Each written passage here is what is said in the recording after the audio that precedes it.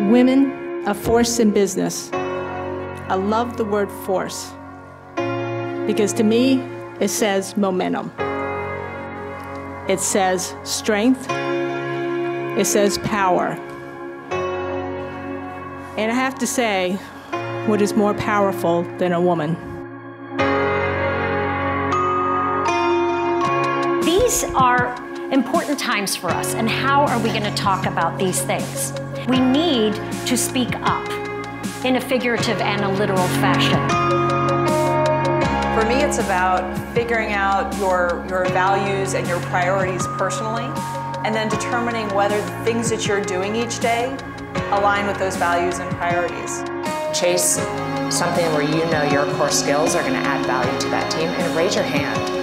Volunteer for side projects, get that exposure. Whether it's children or it could be illness, it could be a lot of different things, can change the tra trajectory of your career.